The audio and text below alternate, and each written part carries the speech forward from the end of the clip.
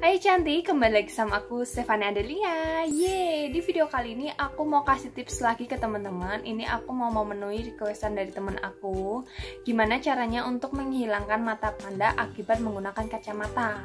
Nah di sini aku akan kasih tipsnya dan teman-teman yang memiliki yang memakai kacamata dan menghilang eh apa ada bekas kantung matanya akibat kacamata nah wajib coba dan wajib lihat video aku oke? okay?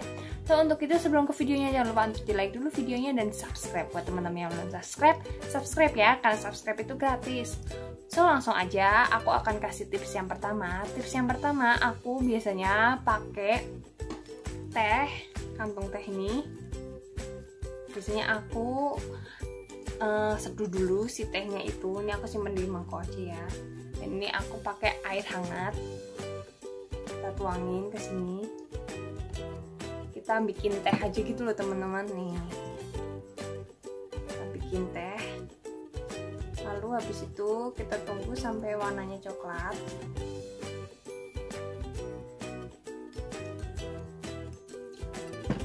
Sambil menunggu tehnya jadi kita ambil kapas dulu ya teman-teman.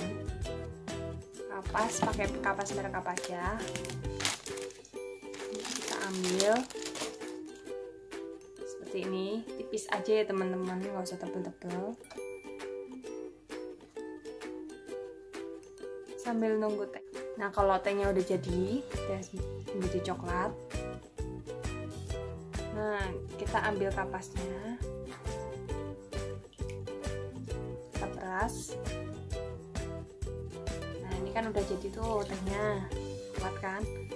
Nah ini aku akan biasanya ini langsung kita pakaiin aja aplikasiin ke mata kita oke?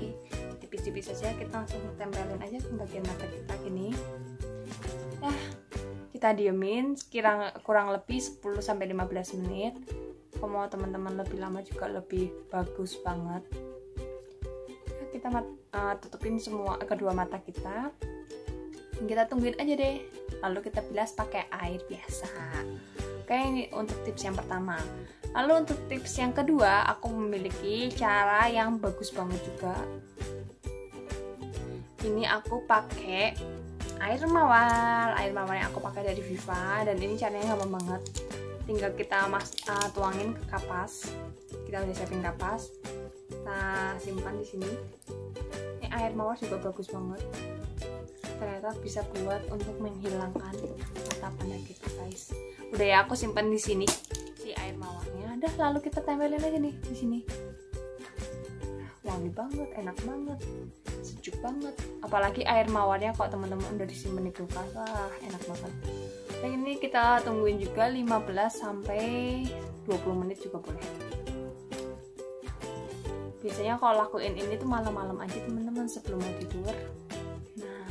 Teman-teman tempelin aja nih air teh atau air mawar ke mata teman-teman. Oke. Okay? ya. Cara yang ketiga itu aku biasanya pakai timun tapi aku lagi nggak ada timun. Dan timunnya aku iris tipis-tipis aja. Lalu aku tempelin kedua mata aku. Udah deh biasanya aku tinggal tidur aja gitu kalau malam misalnya aku pakainya malam. Aku udah pakai skincare muka aku langsung aku iris timun. Lalu aku tempelin deh ke mata aku itu aja uh, tips aku untuk menghilangkan mata panda teman-teman akibat menggunakan kacamata so buat teman-teman yang uh, memiliki mata panda teman-teman bisa cobain cara ini karena cara ini ampuh banget dan work banget untuk teman-teman lakuin oke okay? So, segitu dulu aja video dari aku. Semoga teman-teman suka dan jangan lupa untuk uh, request video aku, komen di bawah dan apa ya subscribe jangan lupa subscribe, like, dan share ke sosial media yang teman-teman punya. And see you in the next video. Bye-bye! Bye-bye!